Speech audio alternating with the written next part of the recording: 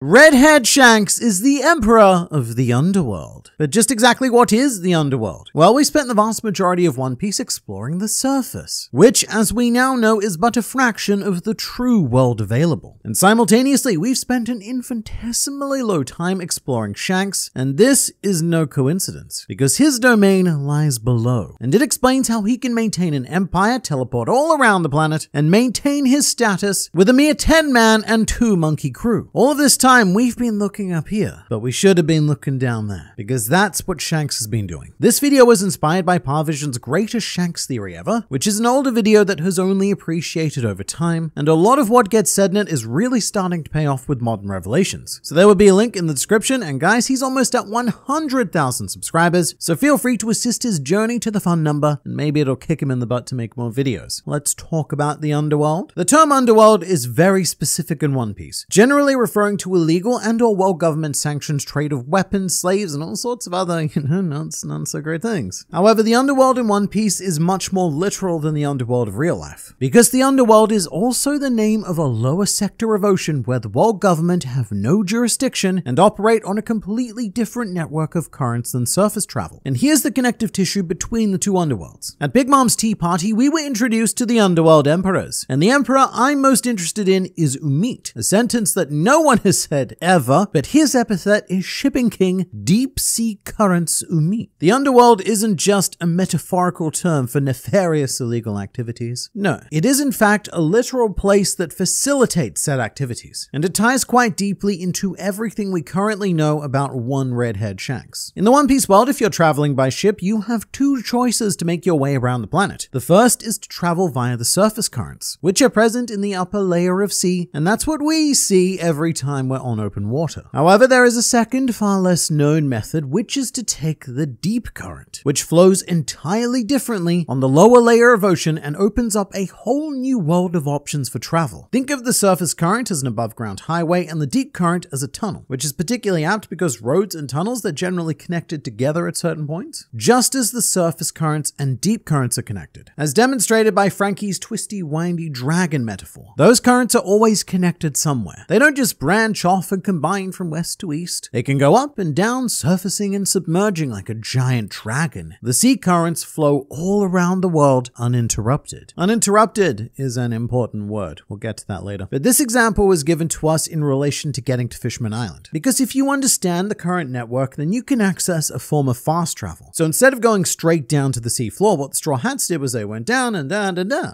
that makes sense, right? However, choosing to utilize the deep current is very dangerous. Because not only can things get way out of control and smash you to pieces against colossal continent remnants, but they can also dump you into undersea volcanoes, and it can even lead you into a fate far, far worse, as described by Brook. I heard that the deep current flows very slowly near the ocean floor. If it were to carry you all the way to the bottom, you wouldn't see the light of day again for 2,000 years. That's right. There are countless legends surrounding these unknown currents too. Monsters, curses, lost souls. So the further you ride the current down, the slower travel becomes. And it probably reaches a point where it feels like you're not moving at all. And then it remains like that for who knows how many hundreds or even thousands of years. It's even been speculated that Laugh is on the seafloor and only accessible by riding the deep current to completion, which as Brooks stated could take thousands of years. And that's why very few people end up getting to Laugh without a little help from some mystery cubes that provide a handy road to the island. All of which is to say that the world government have no dominion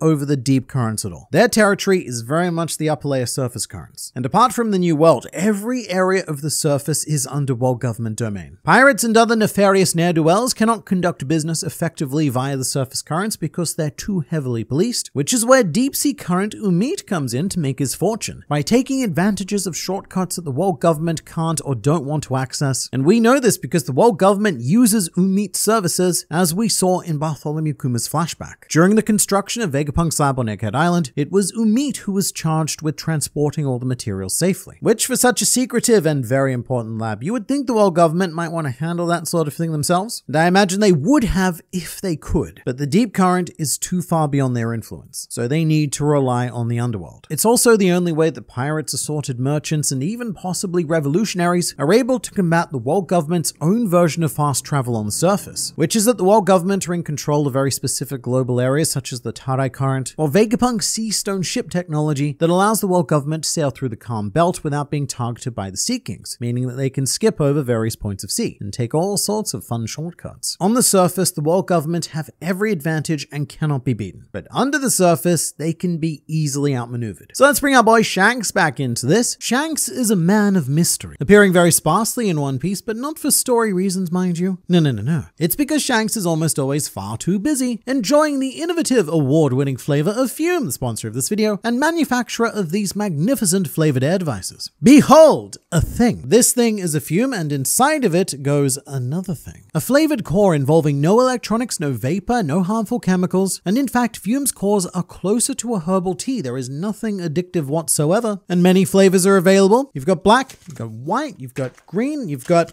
black again. But primarily the supreme flavor, orange vanilla. Love orange vanilla. Oh, and the fumes also do this absurdly satisfying. And very low maintenance because FÜM are also completely battery free. There's no need to charge it except in court for the crime of being too good of an all natural flavored air experience or something like that. What I'm trying to say is that FÜM is great and I genuinely enjoy them. As do the over 300,000 other customers that FÜM have served to date. And for a limited time, you can use my code GrandLine Review to get your free FÜM base when you order the Journey Pack. It's the all new magnetic stand for your FÜM device. So I actually didn't get one of these until very recently. I, like the uncultured swine I am, thought it was unnecessary. But now, mate, I don't know what I would do without a funky magnet on my desk to prop up my fidgeting device. So head to tryfume.com, that's tryfum.com, and use code GrandLine Review or scan the QR code on screen to get your free FÜM base when you order your journey pack today. And thank you so much to FÜM because their sponsorship allows us to bring you the best fictional pirate content possible as often as possible. So try them out, but for now it's back to you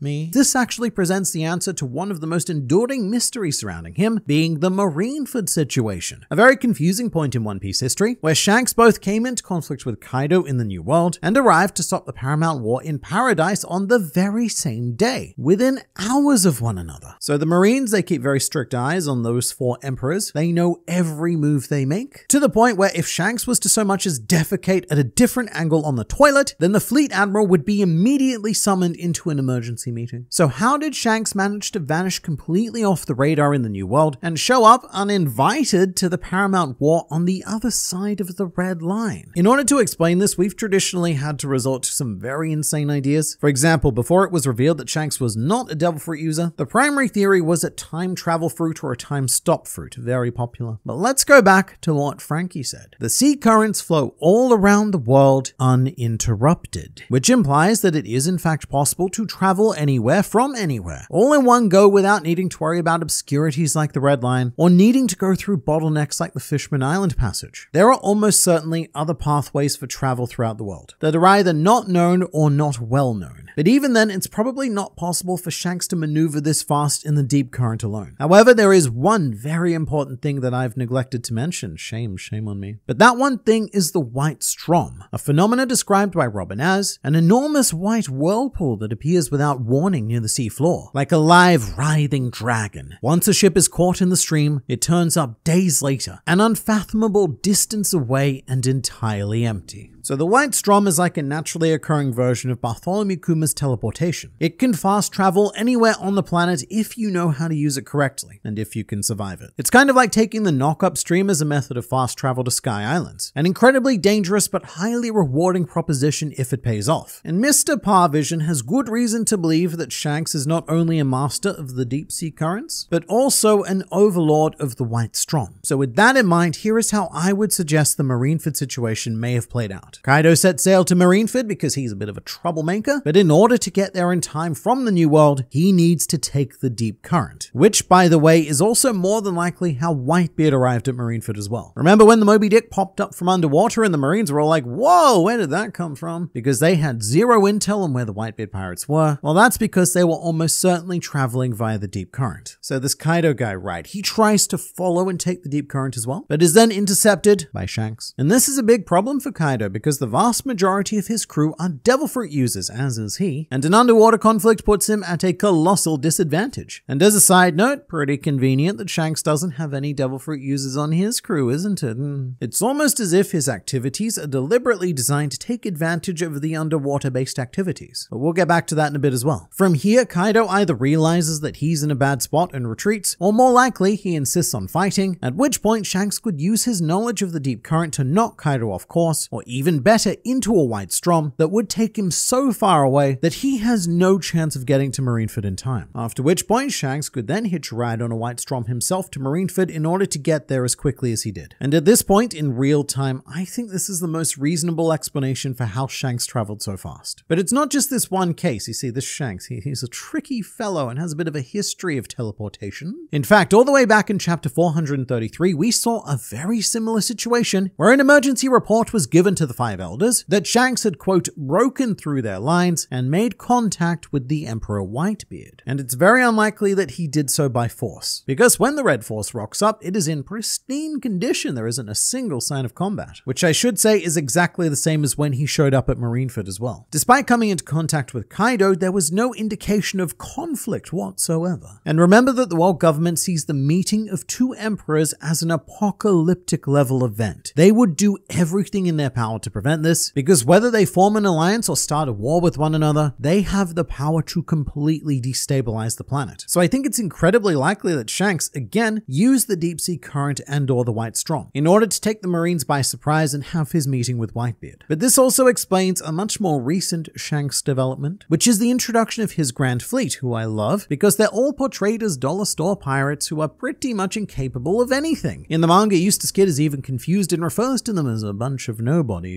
which rude. That's not how you would refer to the extended forces of any other emperor, especially ones like Big Mom and Kaido, who have walking meat empires numbering in the tens of thousands because they need those small armies to retain control and security over their vast empires. Now, Shanks, he also has a vast empire, but a useless Grand Fleet who can't retain control over that vast empire, so they're not ruled in the same way. So how does Shanks protect those territories? His Grand Fleet is useless, so the power behind the Red Hair Empire comes down to the 12 members of the Red Hair Pirates, two of which are monkeys of questionable usefulness. So it's up to 10 humans to protect what takes other emperors tens of thousands. And I think the only solution to this is that Shanks has a travel advantage. Shanks and the Red Hair Pirates are able to protect their territories because they can travel faster than any other emperor, be that through the deep current, the White Strom, or maybe even another mechanism that we're not aware of yet. Because every emperor has their own specialty within the New World, a certain monopoly that makes them very difficult to topple. With Big Mom, it's tempting to say that food was her specialty, and sure, it was, but she was also portrayed as the Emperor of Information. Her network far surpassed any other that we know of, and it was reflected in her contacts as she invited the entire underworld to her tea party. Meanwhile, for Kaido, his specialty was weapons. He was the one funding and developing much of the world's most horrible innovations in weaponry to plunge the world into a big old war, and with Shanks, I would suggest that his specialty is travel and transportation. Because he has effective teleportation, it makes him impossible to predict, and it also gives him the ability to respond quicker than anyone else, because Shanks can kind of be everywhere at once. And to bring this back to his crew, I think it makes a lot of sense for them to be exclusively non-Devil Fruit users if there was a high focus on the deep current and general underwater activities, as Emperors of the Sea often recruit purely for their own personal empire goals. Big Mom, pretty infamous with stacking her crew with food Devil Fruit users, and then Kaido obviously has his own agenda with the raw power of animals, so Shanks is really no different. He focuses on underwater, so you know what? No fruit users. Probably not a good idea. And really, the Emperors weren't just deadlocked by brute force, but also their specialties. You can't start a war with Kaido because he's got superior weapons. You also can't start a war with Big Mom because she has superior information, and her network can outplay you. They know what you're going to do before you do it. But also, my god, you can't start a war with Shanks because he can outmaneuver you in every way. And I'd also propose that's why the world government are so afraid of an alliance between emperors. Again, not just as a threat of raw power, but also as a combination of specialties that severely tip logistics in their favor. The sort of logistics that the world government cannot compete with even with their dominion of the surface current. But if true, how did Shanks acquire this specialty? Well, as many things do these days, it all comes back to the Roger Pirates. After confirming that the world has been flooded, I've been saying this a lot and I will continue to be saying it again, but the Roger Pirates have a huge focus on underwater activity. Whether that be Rayleigh becoming a professional ship co or crocus living in a whale. And I don't believe that's a coincidence. They know the truth of the world and they understand just how powerful the unknown depths are. And even though Shanks himself didn't go to Laugh Tale, I would be shocked if he didn't at least have some sense of the importance of the ocean as well, and therefore set out to master and conquer the deep sea, perhaps in order to block others from doing the same and discovering the assorted secrets whilst waiting for Joy Boy's return. He might even have learned this from Roger, because remember, Roger didn't even have a grand fleet, not even a useless one, and somehow the Roger pirates were able to travel around the world without any issues. And this takes me back to Roger's final voyage, the one where he zipped all around the globe to find them poneglyphs, and in the space of one year, he went on to visit every important location in the world. We saw Roger go to Skypiea in Paradise, Fishman Island at the bottom of the Red Line, Wano in the New World, even Tequila Wolf in East Blue. This and so much more all happened in the space of a year, and that just shouldn't be possible. You shouldn't be able to just dart all around the world aimlessly like this and have it work, especially with Roger's notoriety and the amount of people chasing him, both pirates and marines. So my only conclusion at this point is that his crew must have been making use of the deep current and perhaps even the white strom in order to facilitate their poneglyph cleanup mission, which is how Shanks may have become such a master of this form of travel, because he's been doing it since he was a kid. And there's even modern day evidence that remaining Roger pirates could still be doing the same. Like when Rayleigh's ship sank and he had to swim all the way to Amazon Lily, which is an insane distance away. So maybe Rayleigh caught a white strom to the calm belt instead of swimming all the way there through the surface. I think that one that was a bit of a leap. Rayleigh is the kind of boss who would just swim all the way there. Although, if another more convenient form of travel was known to him, then eh, why not? The greater point is that the underworld of One Piece remains terrifyingly unexplored, and it holds powerful features and treasures for those willing to take that risk. At the moment, I believe that Shanks is the only one who has even begun to do such a thing, and as hinted by Brook's 2,000 year journey legend, the deep sea current may very well be the key to finding Laugh Tale itself. So when Shanks says that it's time to go and claim the One Piece, don't get too excited because it could still be a very, very long journey ahead.